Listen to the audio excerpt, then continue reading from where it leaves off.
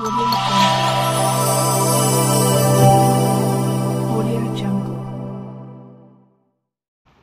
आज अकोला शहर वासियों के लिए एक जानकारी हमने निकाल कर सामने लाई है। आज जब हम शाम में बाहर निकले तो देखा कि पेट्रोल पंप पर बहुत ज़्यादा गर्दी बढ़ने लगी है। अचानक से सभी पेट्रोल पंप जो है, हर एरिया के यहाँ पे फुल होने लगे हैं। लोग अपनी गाड़ियों को ले लेकर जो थे, पेट्रोल पंप पे पहुँच रहे थे और पेट्रोल भराने की जल्दी कर रहे थे।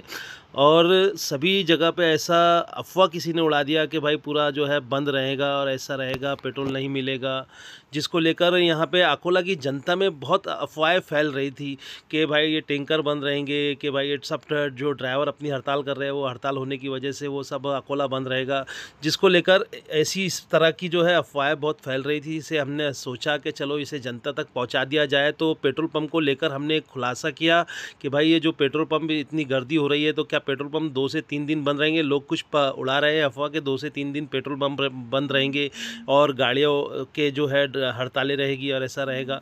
तो इसको लेकर हमने बात की। और वहीं पे जो गाड़ियों की हड़ताल के बारे में है, उसके बारे में भी हमने यहाँ पे निकाला कि भाई क्या है, हड़तालें है या नहीं है। कि ज़बरदस्ती किसे बंद कराया जा रहा है, गाड़ी चलाने वाले ड्राइवर को रोका जाएगा तो इसके ऊपर भी हमने देखा तो इसके ऊपर भी हमें कुछ वीडियो मिला, वो भी हम आपको अभी आगे बताएँगे। वहीं हम आपको जो अकोला शहर के पेट्रोल पम्प के सभी अध्यक्ष हैं, राठी जी, उनसे हमने खुद होकर बात की और उन्होंने हमें बताया कि भाई पेट्रोल पम्प जो है अकोला शहर के किसी भी प्रकार से बंद नहीं रहने वाले हैं, पेट्रोल की जो है हम पूरी पूर्तता करेंगे और पेट्रोल पंप जो है यहाँ पे बंद नहीं रहने वाले हैं। तो अकोला शहर के नागरिकों को कोई घबराने की बात नहीं है अपनी गाड़ियों को लेकर एकदम से जो है अकोला शहर के पेट्रोल पंप पे गर्दी नहीं करनी चाहिए और जैसे भी हो वो अपने जो है हिसाब से पेट्रोल भरवा सकते हैं।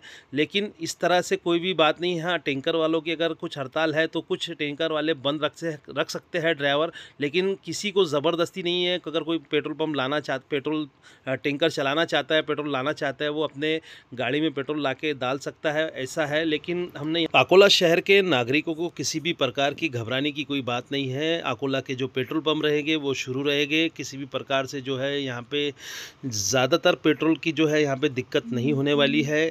ऐसा हमें यहाँ पे जो है पेट्रोल अ, एसोसिएशन के अध्यक्ष जो है राठी जी उन्होंने बताया है।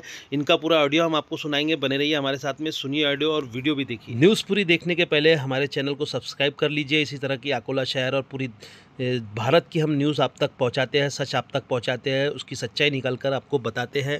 डिस्क्रिप्शन में हमारे टेलीग्राम की लिंक दी हुई है व्हाट्सअप की लिंक दी हुई है, उस पर जाके आप हमारे चैनल्स को ज्वाइन कर सकते हैं, जिससे आपको सबसे पहले हमारे चैनल से न्यूज़ मिल जाएगी। वहीं आप हमारे चैनल को सब्सक्राइब करने के बाद उसके नीचे जो थैंक्स वाला बटन है, उसको जो है ज्वाइन करके हमें जो है हमारी टीम को जो है सपोर्ट कर सकते हैं और हमारी टीम को पावरफुल बना सकते हैं जो आपको और भी बेहतरीन यहाँ पे जो है न्यूज़ेस प्रोवाइड करते जाएगी। तो बने रहिए रंगरेज की आवाज़ के साथ में मैं मोइन रंगरेज देखिए पूरी न्यूज़ हाँ नमस्ते राठी सर।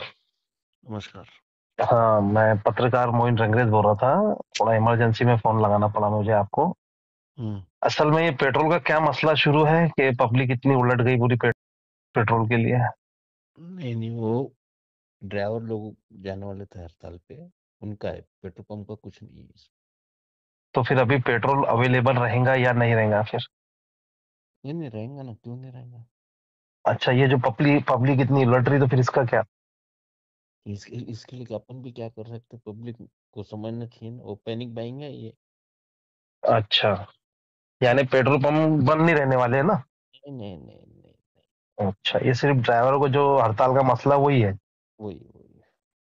अच्छा तो अभी सर आप अध्यक्ष हैं ना कि नहीं है अभी यहाँ पे? अध्यक्ष अध्यक्ष। ठीक है सर चलेगा चलेगा ओके सर थैंक यू तो आपने देखा यहाँ पे हमने जो है पेट्रोल पंप के एसोसिएशन के अध्यक्ष राठी जी से बात की और उनसे पूरी बात आपने सुनी।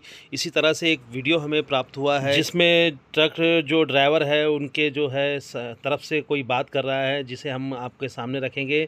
उस वीडियो को भी देखें और सच्चाई को पूरा जाने। इस तरह से अकोला शहर में पैनिक ना फैलाए और किसी तरह की हड़गड़बी ना करें। देखिए पूरी न्यूज़ और बने रहिए रंगरेज की आवाज़ न्यूज़ के साथ में हमेशा। जिला मोटर मालक चालक संघ की तरफ़ से एक फैसला लिया गया है, जिसमें हमारे गुड्डू सेठ अयुब भाई और बाकी सभी लोग यहाँ पर जो मौजूद है, सबकी मौजूदगी में फैसला लिया गया है कि जो मोदी सरकार ने काला कानून हमारे ऊपर थोपा है, जो लागू किया है ड्राइवरों के ऊपर में, इससे सारे ड्राइवरों को भुखमरी की नौबत आ चुकी है। इसलिए कल से आज हम लोग जाकर एसपी साहब से मिलकर पाँच लोगों की एक टीम जाएँगे एसपी साहब से मिलेंगे और उनको एक हम निवेदन देंगे कि कल से जो ऑल इंडिया में पूरा बंद है, भारत बंद मोटर मालक चालक संघ की तरफ़ से, उसको हमारे अकोले ज़िले की तरफ़ से पूरा समर्थन दिया जाएगा। आप सभी से गुजारिश है कि कल दो बजे जिला अधिकारी कार्यालय यानी कलेक्टर ऑफ़िस पे सारे ड्राइवर और सभी मालकों से मैं गुजारिश करता हूँ सब पहुँचे। उसी के साथ में अकोला ज़िले के, जैसे अभी पातुर के लोग हैं, वालेगांव काकोट तेलारा मूर्तिजापुर, बालापुर, इन लोगों के फ़ोन भी आए, इन लोगों के फ़ोन भी आए, इन लोगों ने बताया कि भाई हम लोग भी बंद में शामिल है। तो पूरे ज़िले से जो लोग आ सकते हैं, वो सारे के सारे मोटर मालक और चालक कल दो बजे जिला अधिकारी कार्यालय पहुँचे। उसके बाद में मैं टैंकर वालों से भी गुजारिश करूँगा कि इनके टैंकर के जितने भी ड्राइवर, मोटर मालक, चालक है, ये भी वहाँ पर पहुँचे और टेंपो यूनियन वाले भी वहाँ पहुँचे, जो फोर व्हीलर चार सौ सात वाले हैं, टाटा एस वाले हैं, क्योंकि ये जो काला कानून है, ये सब पे लागू है। उसी तरह से हमारे ऑटो वाले भाई और कार वाले जो कार वालों को, कार वालों को भी इसमें छोड़ा नहीं गया है।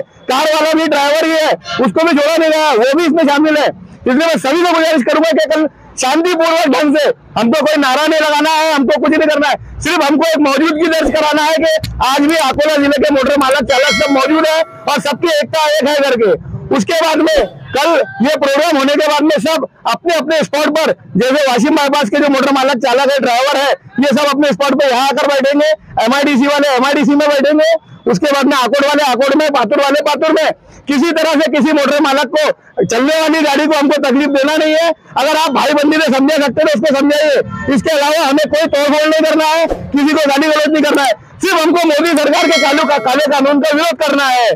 जिंदाबाद जिंदाबाद Audio Jungle.